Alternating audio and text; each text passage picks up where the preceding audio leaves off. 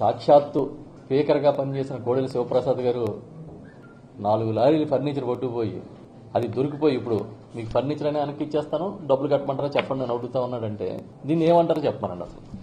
ఒక స్పీకరు రాష్ట్రం అక్కడి నుంచి ఇక్కడికి వచ్చినప్పుడు లేకపోతే అసెంబ్లీని ఇక్కడికి మార్చినప్పుడు తీసుకురావాల్సిన ఫర్నిచర్ని ఇళ్ళలోనో వాళ్ళ షోరూముల్లోనో వాడుకునే విధంగా ఫర్నిచర్ని షిఫ్ట్ చేసేస్తే దాని మీద పోలీస్ ఎంక్వైరీ జరుగుతోందని ఇప్పుడు వచ్చి నేను ఇచ్చేస్తానని చెప్తే అసలు మామూలుగా సామాన్యమైన వ్యక్తి ఇదే పని చేస్తే ఏమంటారు దాన్ని? దొంగతనం అంటారా? దోపిడీ అంటారా? చేతి వాటం అంటారా? ఏమంటారో చెప్పమని నేను తెలుగుదేశం పార్టీ వారిని అడుగుతా ఉన్నా. అసెంబ్లీలో ఉంటే ఆ సామాగ్రికి రక్షణ ఉండదు కాబట్టి తీసుకెళ్ళిపోయారంటే అసెంబ్లీకి అధిపతిగా పనిచేసిన స్పీకరే ఆ మాట చెబితే అంటే అసెంబ్లీలో నూట నూట డెబ్బై ఐదు మంది శాసనసభ్యులు అదేవిధంగా శాసన మండలి సభ్యులు ఉంటారు. ఇంత పెద్ద వ్యవస్థ. అంటే అసెంబ్లీలో రక్షణ ఉండదు కాబట్టి ఆ సామాగ్రి మీ ఇంట్లో దాచారా? నవ్వుతారని కూడా లేదే. ఇంత దారుణంగా దీన్ని బట్టి మీరు అర్థం చేసుకోండి.